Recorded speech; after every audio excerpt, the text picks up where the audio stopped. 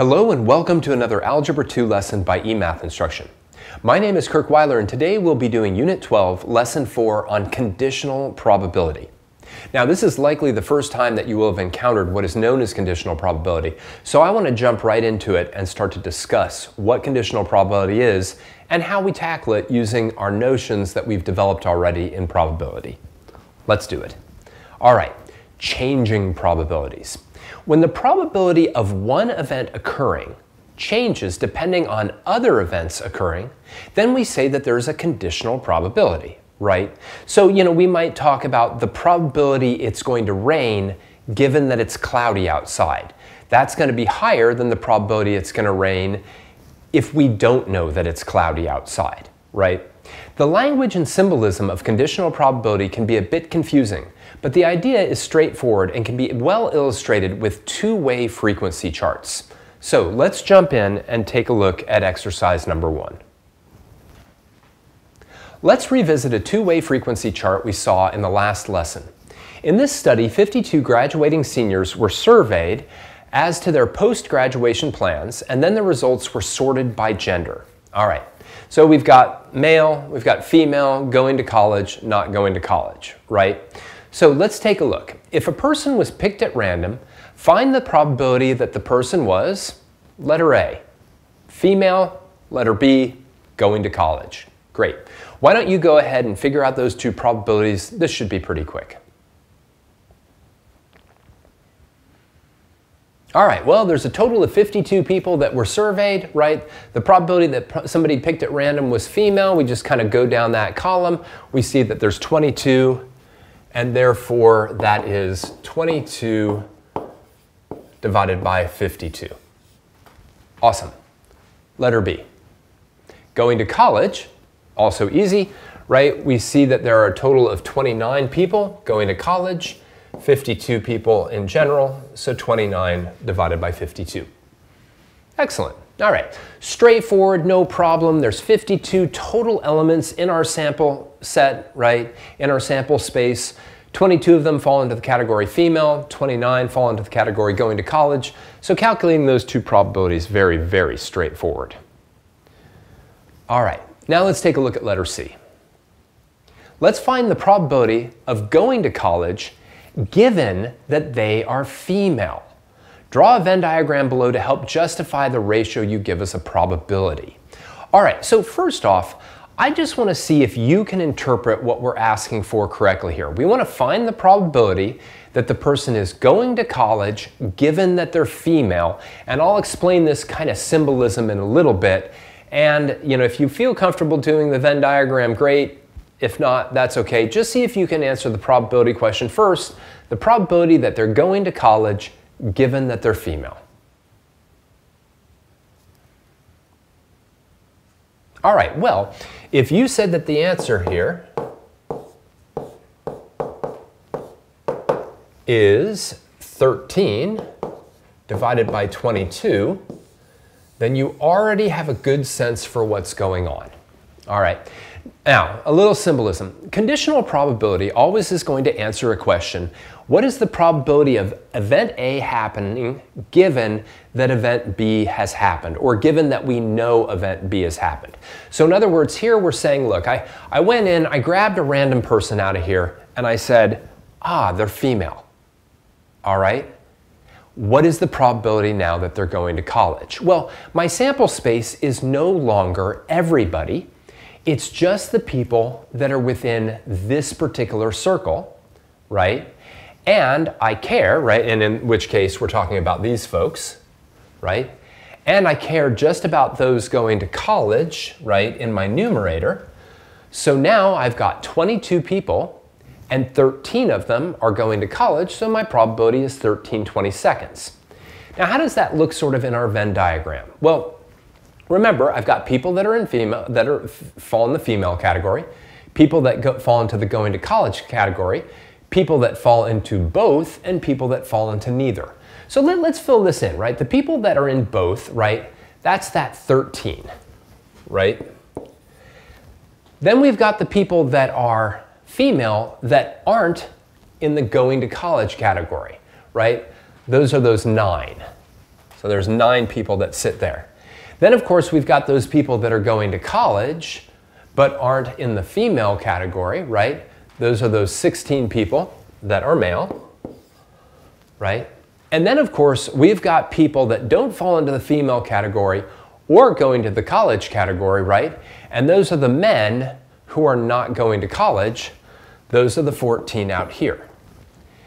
But here's the key, right? When we're thinking about this particular question, right? When we're thinking about the question of what is the probability that we're going to college given, this little line means given, that we're female, we're talking about only female people or female students, then this, right, that becomes the only sample space we care about. We don't care about this, this 16 people. We don't care about those 14 people, right? Because as soon as we know that we've got a female, right, then the males that are going to college are irrelevant. The males that aren't going to college are irrelevant. We only care about that. And that's conditional probability. In other words, you put a condition on the particular thing that happens. It's like, hey, I rolled a die. You know, what is the probability that it's an even if the number I rolled was greater than three? Well, I could have rolled four, five, or six, so there's three possibilities, and two of them are even, so two thirds, right? That would be the probability of getting an even if I knew that I had rolled a number greater than three versus just the probability of getting an even would have been three out of six, right? Well, then we'd have two out of three in that condition. So let's take a look at letter D. Which of the following is more likely? That a person picked at random will be going to college, given that they're male, i.e. C slash M, or that the person will be male, given that they're going to college. That's M with that vertical line, and then C. Show the calculations for both. All right, well again, let's, let's continue to kind of walk through this, right? The way that we read this is the probability of going to college given that they're a male, all right? In that case, the only people that I'm really concerning myself with are the males here, right? So my actual sample space now doesn't have 52 people, it's only got 30. And now, the only people that I'm worried about going to college are the males. Why would I count the females in on that? That would be weird. They're not part of this 30. So I just have 16.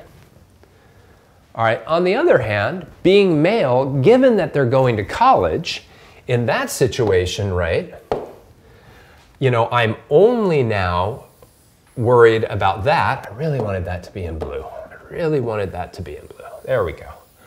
Now I'm only worried about those folks because I'm saying, look, I'm already talking about people that go to college, so I'm not going to worry about the people down in this row that aren't going to college. So the total number of people in that sample space are 29. Now I'm only going to worry about these 16 again.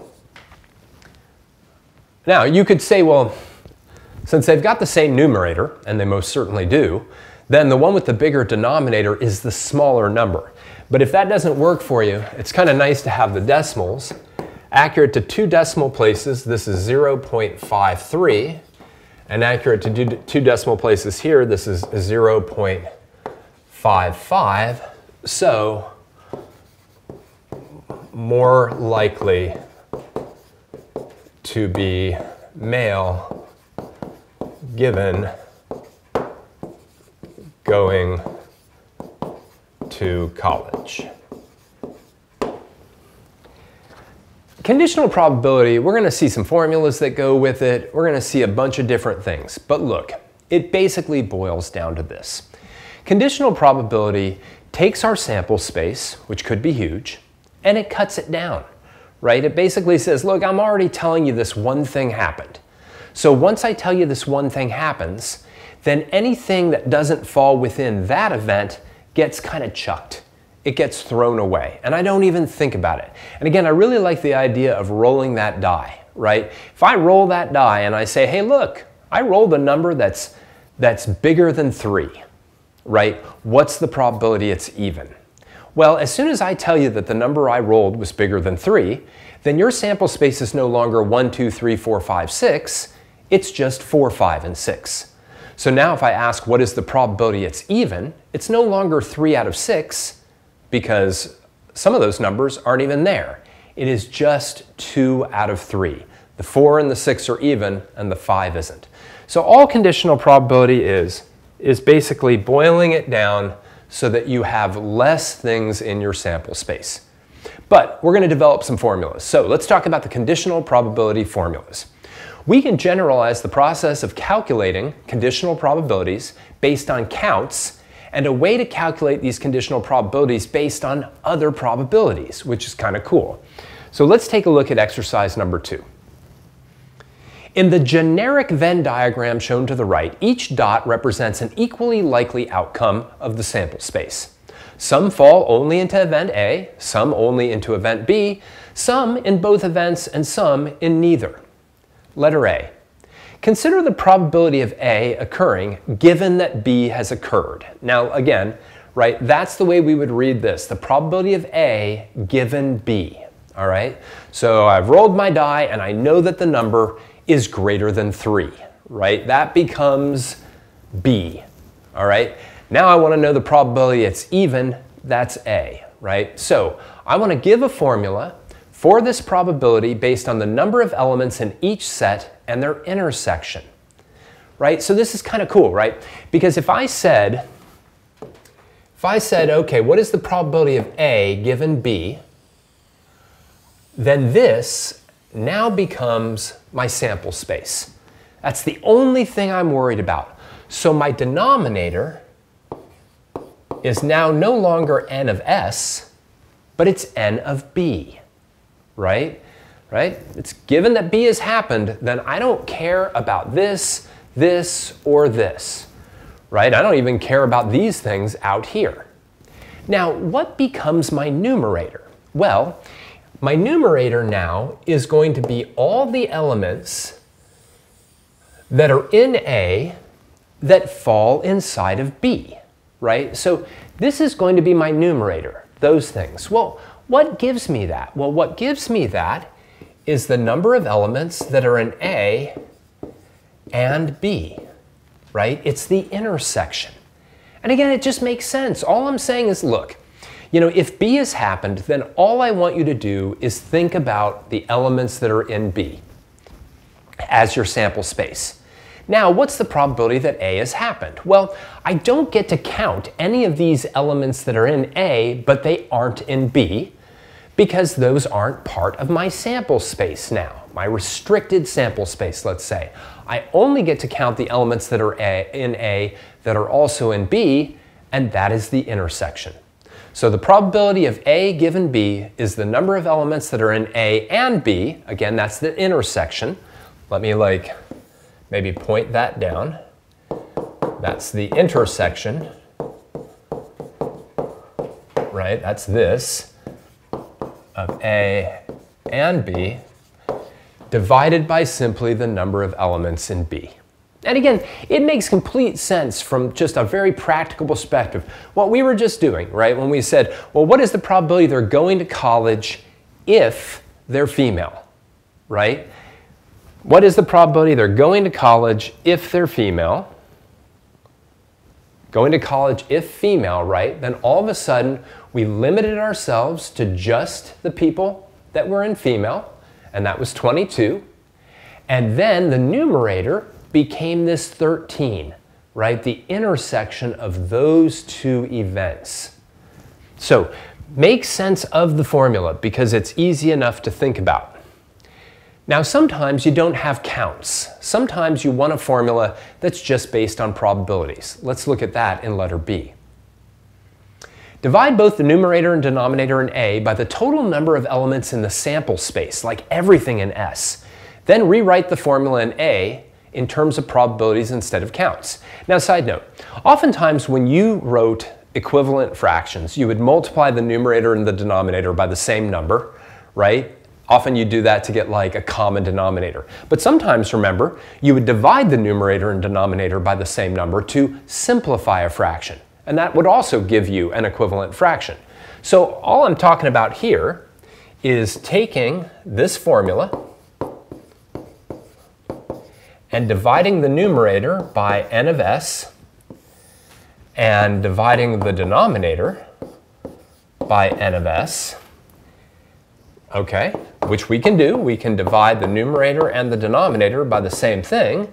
And then what we get is the probability of the intersection divided by the probability that B happened.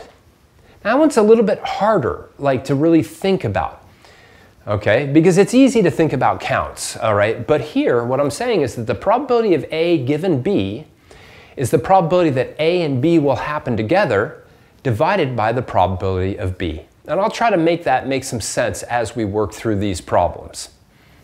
All right. When we can count elements that lie in events and their intersection, con conditional probability is straightforward. At least I think it is. It is less so when dealing with relative frequencies or probabilities. So let's take a look at exercise number three. A survey was taken to examine the relationship between hair color and eye color. The chart below shows the proportion of people surveyed who fell into each category. If a person was picked at random, find each of the following conditional probabilities, show the calculation you used. Now, right, again, just to, to make you understand this, right? Here I've taken people and I've broken them down by blue eye, brown eye, green eye, and by black hair, blonde hair, and red hair, right? And we could say, let's say that 25% uh, of all people had black hair and brown eyes. We could say 5% of all people had green eyes and blonde hair, right? So these things are literally probabilities. But if you really want to think about them as counts, so that you could use the count method versus the probability method, think of there as being 100 people. Out of those 100 people, 15 of them had black hair and blue eyes. 45 of them had black hair. 35 of them had blonde hair, 20 of them had red hair, right? 35 of them had brown eyes, 40 of them had blue eyes, 25 of them had green eyes, right? So you can think about this from a count perspective. If you say, well, let me just pretend that there were 100 people in total, it works out fine. So let's take a look at letter A.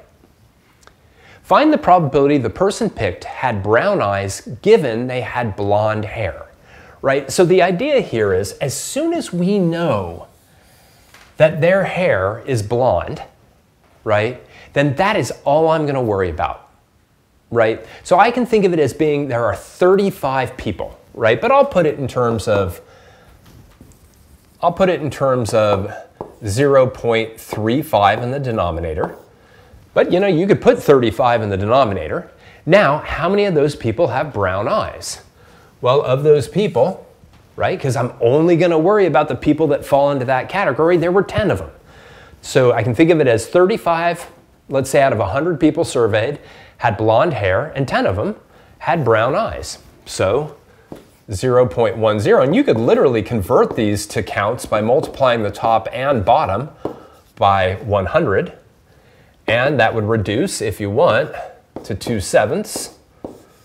Or I suppose if you wanted to put it in terms of a decimal, and you did two decimal place accuracy, 0.29. In other words, there's about a 29% chance that if a person has blonde hair, they have brown eyes, right?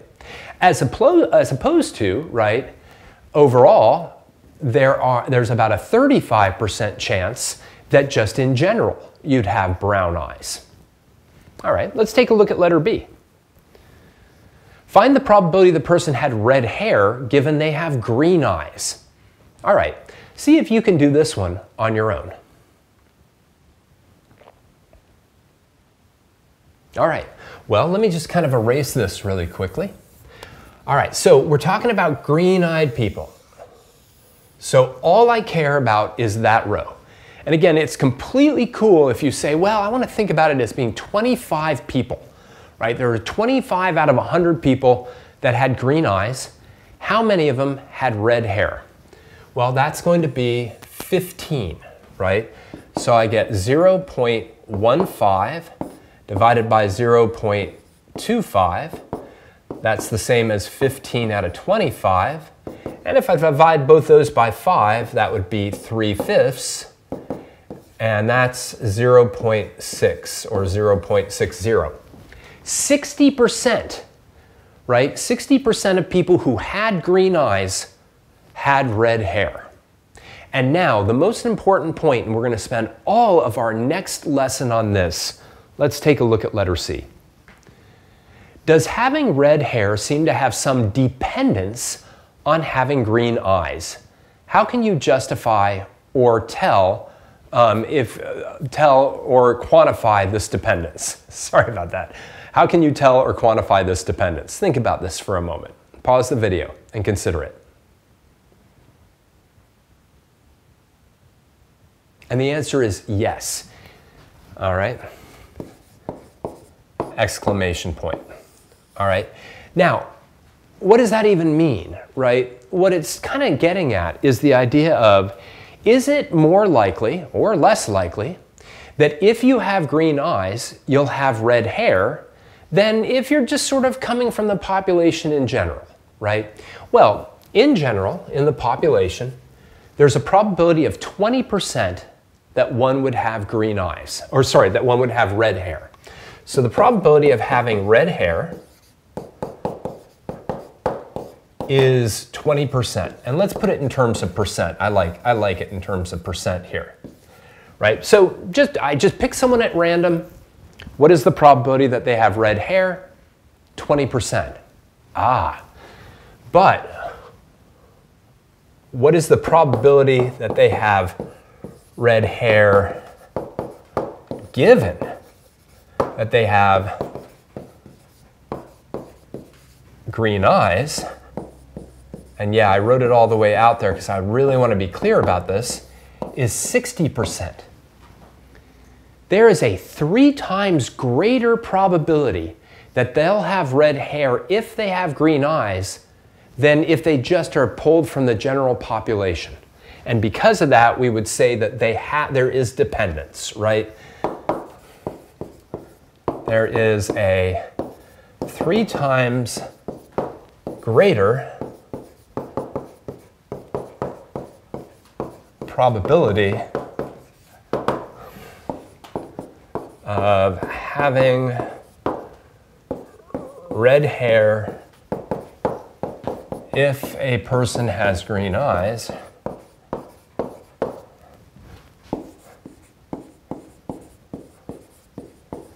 Than oops than sorry than having red hair from the general population. And that's not even to say them not having green eyes. The general